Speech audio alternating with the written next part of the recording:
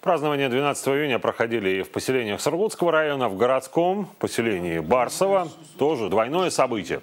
День России и день основания населенного пункта. С 11 часов утра и до 16.00 работали множество спортивных и культурных локаций.